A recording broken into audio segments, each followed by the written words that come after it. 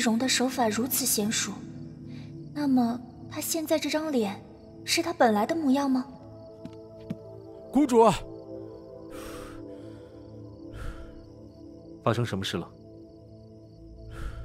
城门开了，皇帝已经启程回京，现在余者只余一个禁卫军统领，继续找寻皇后下落。啊！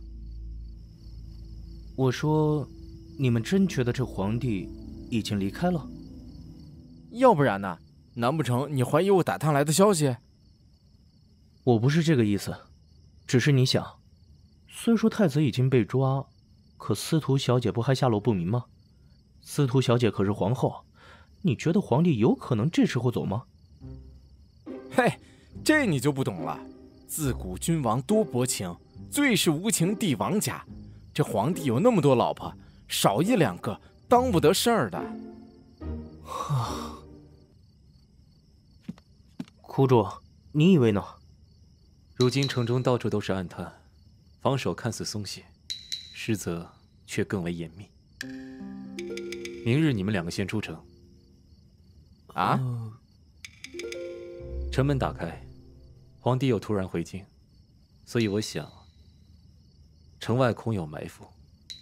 谷主放心，明日我们出城一定会设法捎信回来。若是天黑前仍没有收到我们的消息，那就说明城外有异。嗯，万事小心。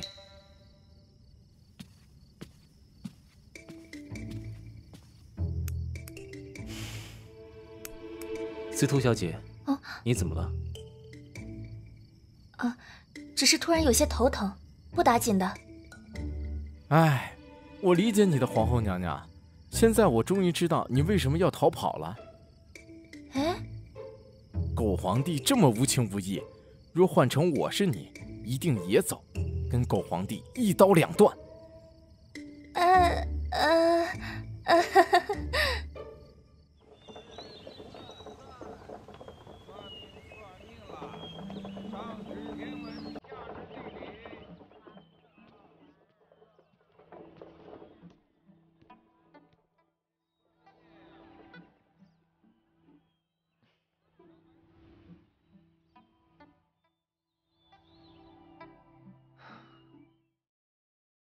司徒小姐，我们明日出城。哦，可是江少侠他们还未传回消息，是不是表示待在城中只会更危险？明日必须出城。司徒小姐，你可信得过江某？木真自然是信得过谷主的。好，那待明日出城后，还请司徒小姐一切听从江某安排。无论发生什么，都不可擅作主张，可明白了？明，明白了。司徒小姐放心，江某在城外亦有安排，无论如何，都会带你离开。江谷主不必多说，莫真信您。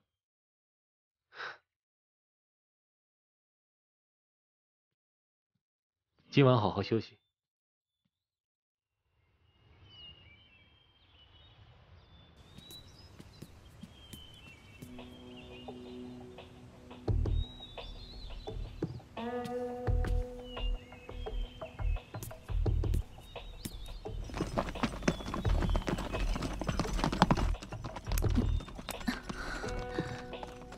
头很疼吗？